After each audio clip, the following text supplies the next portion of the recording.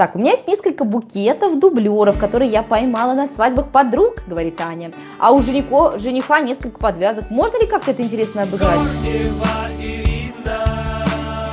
Можно, потому что на каждой практически свадьбе же есть э, либо фото, либо, либо видеосъемка, либо и то, и другое. Вы можете сделать э, какую-нибудь подводку вот такого рода, перед тем, как вы будете разыгрывать букетик невесты или там бутоньерку жениха, вы можете сделать на экране подводку, показать, сколько раз вы поймали этот букетик, что все делается не зря, что рано или поздно, что ваш путь был дол долгий, а, тернистый, но вы к этому пришли все-таки, поймали там 15 букетов, но и не через 15 замуж, а это произошло гораздо раньше.